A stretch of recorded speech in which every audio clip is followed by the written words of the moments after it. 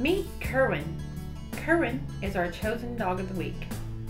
Kerwin is approximately one year old and weighs 27 pounds. He is a male, brown and white, spotted, short haired canine. Kerwin is a blue heeler, pit bull terrier mix with lots of energy. He is always happy and eager to meet new people. Kerwin loves to play and is motivated by treats. For more information, please go to the City of Arlington website.